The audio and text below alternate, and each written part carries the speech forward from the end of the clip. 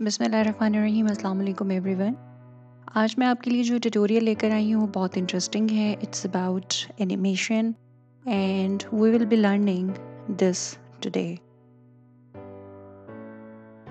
so I have name this tutorial as the bar animation और अब मैं आपको बता देती हूँ कि मैंने इसको बनाया किस तरह से है।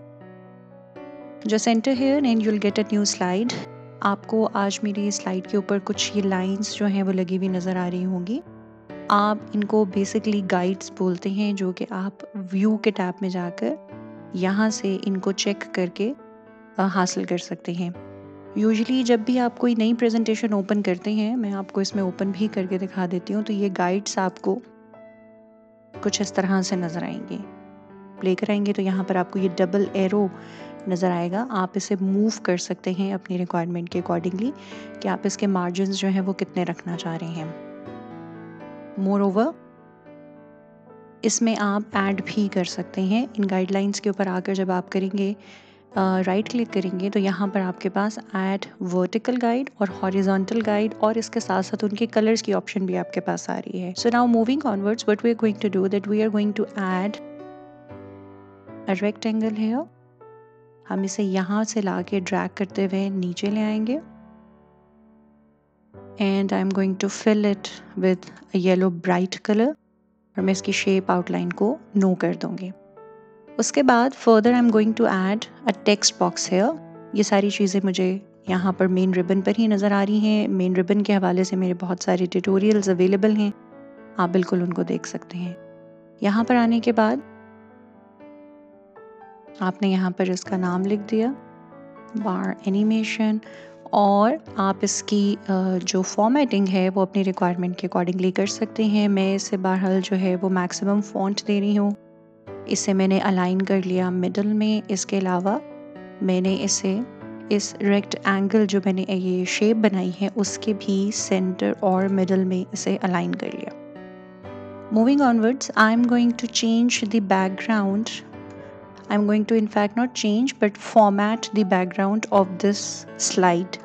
तो यहाँ पर मेन रबर में आपके पास डिज़ाइन आ रहा है, वहाँ पे आप फॉर्मेट बैकग्राउंड में आ जाइए, और यहाँ पे भी कोई भी डार्कर कलर जो है वो आप इसे सेलेक्ट कर लीजिए। और right now I am going to change the font colour to white now I'm going to uh, select this text box and this rectangle और फिर मैं format में जाके यहाँ पर हमारे पास option है merge shapes की इसके अंदर combine को select कर लूँगे now I'm going to add another shape here starting from here and dragging it to here and again, I'm going to fill it with bright yellow color and no outline. Now, इसको मैं थोड़ा सा छोटा कर रही हूँ screen के view को ताकि मैं आपको दिखा सकूँ कि मैं अब इसे किधर लेके जा रही हूँ। इस शेप को मैंने सेलेक्ट किया और शिफ्ट का बटन प्रेस करते हुए इसको मैं राइट पे ले गई।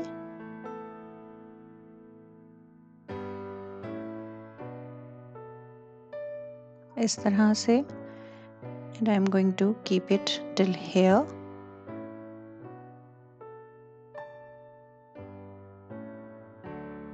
और उसके बाद मैं इसे send to back पे कर दूंगी now I'm going to control C control V and I'm going to change the width to 0.5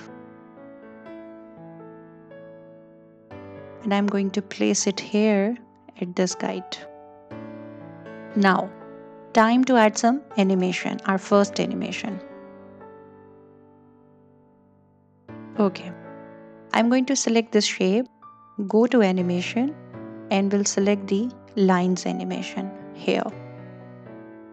Now I'm going to select this and I'm going to go on the effect options and I'm going to select the left. अब इस arrow के ऊपर आपने click किया, इसको यहाँ पर जब इस तरह का एरो आ जाए, उसके बाद आपने शिफ्ट की को प्रेस किया और आप इसको ड्रैग करके ले गए to in the middle of the sky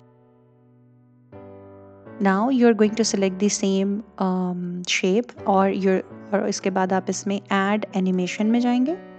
और जाने के बाद फिर आप दोबारा से वही सेम मोशन पार्ट्स में जो लाइंस की ऑप्शन आ रही है, उसको सेलेक्ट कर लेंगे। This time you are going to select right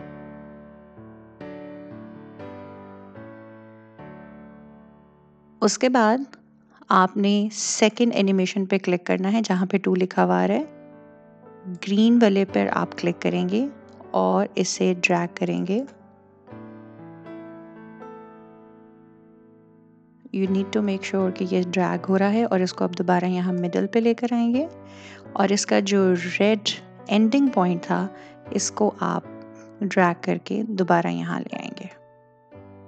Here you go now you are going to select this और यहाँ पर जब आप इसे हाईलाइट करेंगे तो यहाँ पर एनिमेशंस के पैन में ही आप हैं। तो यहाँ पर आपके पास एनिमेशन पेंटर की ऑप्शन आ रही होगी।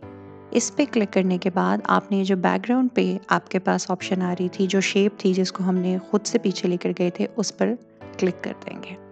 And now you see that the animation is working now the third step इसके बाद आप एनिमेशन पेन पे जाएँगे। सेकेंड वाली ऑप्शन को ड्रैग कर कर आप नीचे ले आएँगे। और सेकेंड ऑप्शन को भी आप विद प्रीवियस कर देंगे और थर्ड ऑप्शन को भी आप विद प्रीवियस कर देंगे। उसके बाद ये जो शेप थी, इसको आपने फिल कर देना है with the background colour now let's look at the animation one click one more click So here you go, you have just learned an amazing animation.